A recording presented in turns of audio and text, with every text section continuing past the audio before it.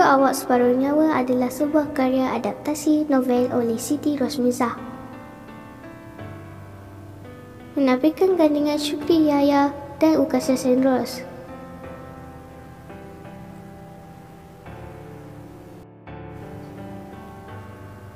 Drama bersiri 40 episod terbitan SR1 Senten Berhad akan disiarkan di slot Mega Drama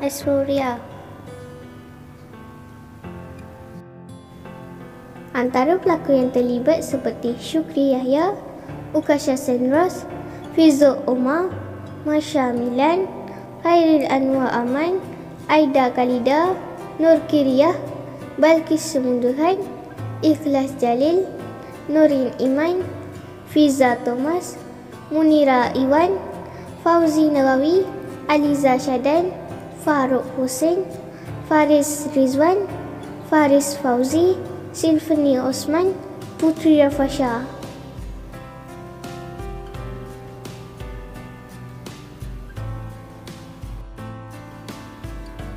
Mengisahkan tentang Kasim Maisara, lakonan Ukasha Senros dan Nazrin Nazim, lakonan Sukri Yahya yang masih belajar di kolej dan telah berkahwin atas dasar mahu membalas dendam dan juga nak menang pertaruhan.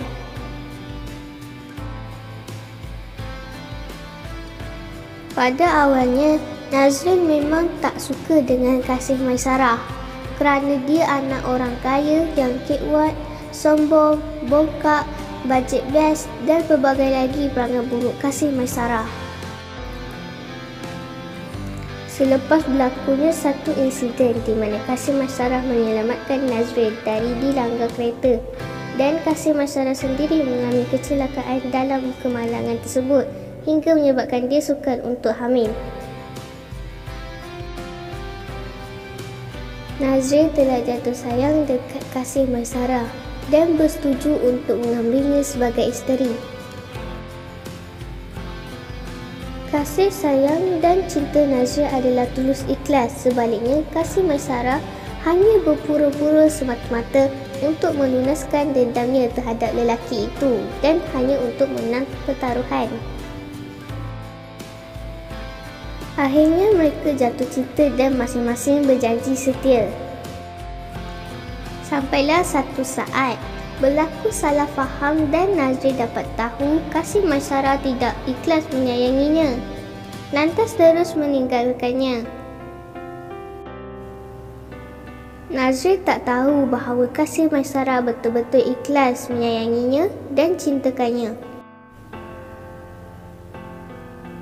Sekembalinya Nazir ke kampung halaman membawa diri. Dia hendak ditunangkan dengan Nurul Huda pilihan uminya.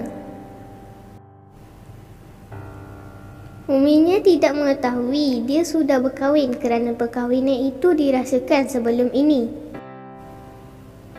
Bila masyarakat dapat tahu, dia terus seram majlis pertunangan tersebut dan mencipta alasan mengatakan dirinya mengandung. Ini membuatkan Nazim Nazim semakin hilang percaya padanya. Takdir Allah tiada siapa mampu menghalang. Kasih masyarakat sememangnya disahkan hamil. Tetapi disebabkan terlalu marah, ditambah lagi dengan mulut orang yang suka mereka-reka cerita. Nazri mengambil keputusan yang sangat melukakan hati kasih masyarakat. Kasih masyarakat menghilangkan diri.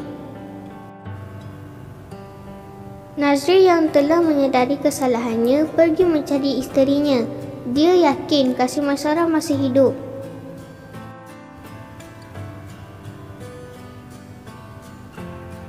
Dapatkah Nazri menemukan semula isterinya?